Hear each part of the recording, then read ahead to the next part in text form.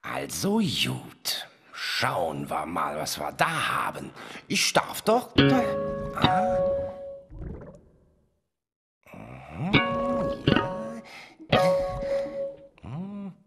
Verstehe, Sie haben einen schwarzen Lumps verschluckt. Ja, da müssen wir zu härteren Mitteln greifen.